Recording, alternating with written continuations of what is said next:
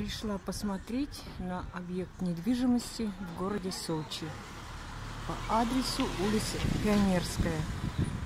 Для понимания, это вот минут 20 ходьбы пешком до курортного проспекта, который тянется вдоль всего города Сочи на несколько десятков километров.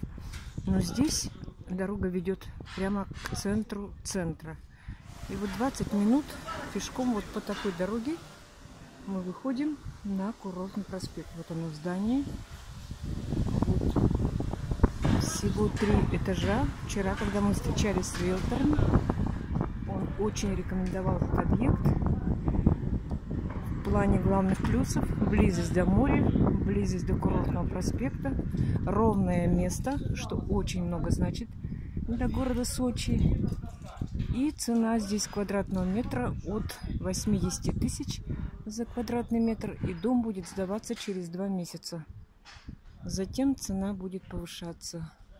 Ну вот, чтобы проверить слова риэлтора, я решила проверить, как вот здесь вот можно удобно, комфортно дойти до моря, посмотреть рядом инфраструктуру. И вот дорога к курортному проспекту идет вот по такой не очень широкой улице.